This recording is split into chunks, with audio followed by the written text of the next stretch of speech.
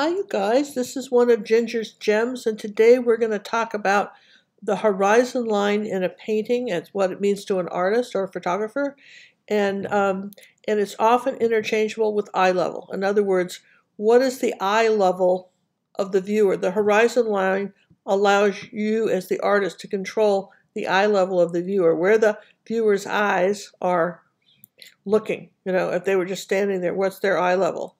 And it's very interesting. There's a lot of theories about where to put an horizon line and what to do, but basically, what you can know for sure is that a horizon line is where the sky meets either the water or the land if there are no mountains in the land case, okay?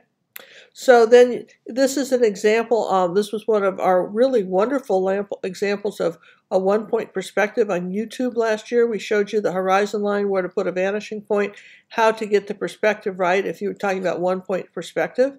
And that's another reason why you want to know where the horizon line is because you, you know, all perspective lines in a landscape are subject to where the horizon line is and where the vanishing point is in relationship to that. In this particular uh, tutorial on clouds, we also talk about one point perspective. This is a lesson found in our Academy of Fine Art and Acrylic Painting where we go into real in-depth uh, information on what you need to know as an artist to really be a successful painter. So what we want to do today is just very briefly in these Ginger's Gems have it so that, you know, never again are you going to have any questions about horizon lines, okay? That's what we want you to know. So first off, I want to talk a, a few paintings about horizon lines. Here's an example of an orchard, uh, it's a vineyard, and in the fall, this is called Vineyards of the Fall. It's in, in our academy. And there's some mountains here, and so somewhere kind of below the mountains is your horizon line, right back here. And if you follow from a perspective standpoint, if you follow, I think I'd rather use an arrow. If you follow this line here, okay, like that, follow that line there, where these lines meet, it's probably where your horizon line is, where this where this line meets right here. See that? Then the horizon line is going to be right along there. Okay, and you need that for perspective, but also it also is uh, from the design standpoint of the painting. How does the painting look? For instance, if you divide it 50-50 in half, is it going to look as good? So here's another example of a horizon line.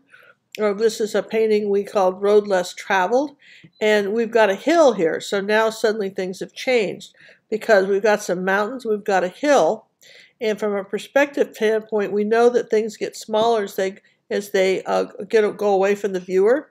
So, and our little um, our hill goes down, our road goes down. So somewhere, probably right along here, is the horizon line, kind of in between these two, um, you know, hills and this one.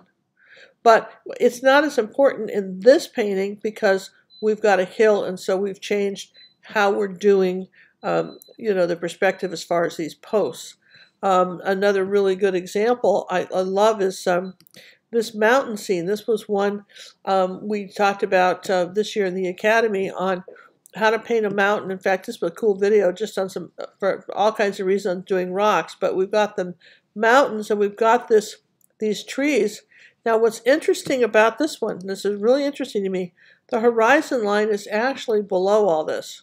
It's actually, we don't see it in this picture. It's actually below the um, somewhere in here, somewhere if these trees all came down, it's probably, you know, somewhere in here. It's really just kind of down here somewhere. Okay, we just kind of straighten that out. That's where it's below the picture. So it's not. We we we're saying that the um, uh, the trees are getting small, you know, kind of smaller as they go back, and um, kind of coming down that way. Okay, so now let's talk about, uh, we've done that one. Let's see, what else can we discuss? Horizon lines, I said another video.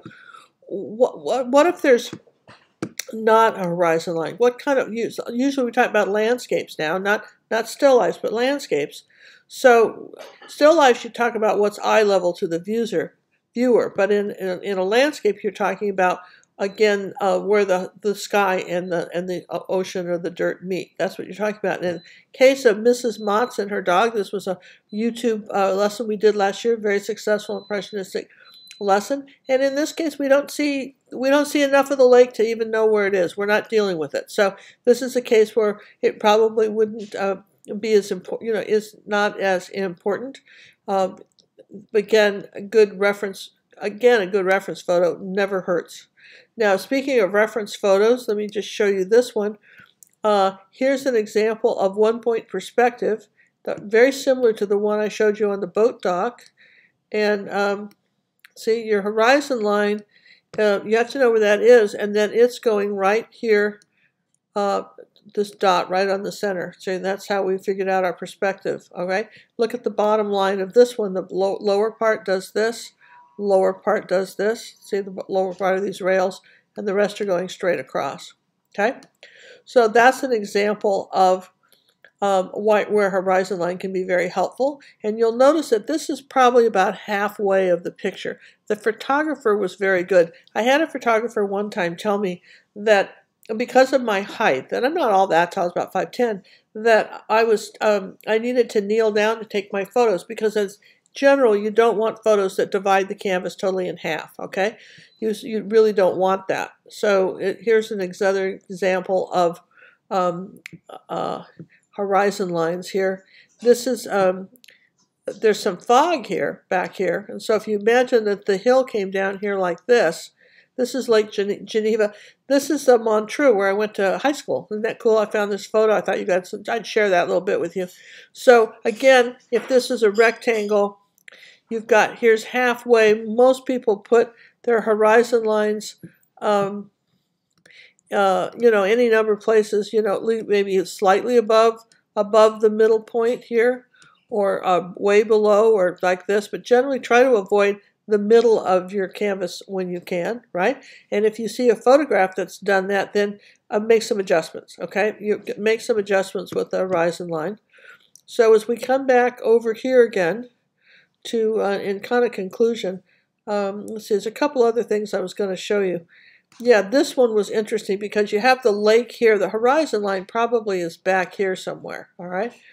But uh, all we know is that, that things are get smaller as they go back. This this is kind of coming down like this. This is coming down like this, kind of an angle. Things get smaller as they go back, get farther away. So the best thing you can do, best thing you can do is have a reference photo, okay? So that you kind of understand where you're putting it rather than making it up. So go back over here and let's just recap. Your horizon line is where the, the sky meets either the land or the water, and uh, particularly if there's no mountains.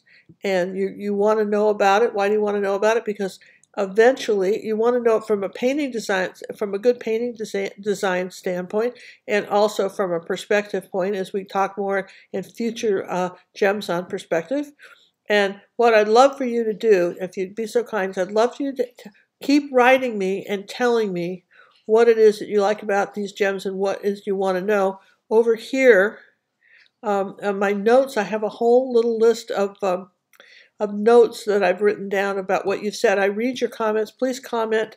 That's important to me. When you comment and tell me, we read everyone, and I really consider what you have to say.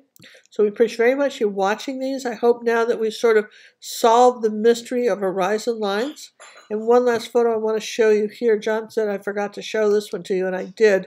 Was this is a case where it was sort of a hill. So again, the Uh, you're not really dealing with it. Okay.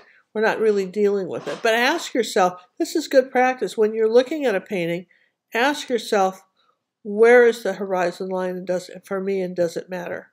in this particular painting I'm designing because this, and again we'll talk about painting design and all kinds of stuff but these are just some basic terminologies and understanding you as an artist need to know where's my eye level of the viewer what are they looking at so thanks you guys for watching and we appreciate if you put this in your comments. Be sure to subscribe to the channel. We appreciate very much uh, the fact that uh, you guys tune in weekly to see what we're doing. And besides doing the gems, of course, we're always doing acrylic painting uh, tutorials as well. And thanks so much and have a fabulous day.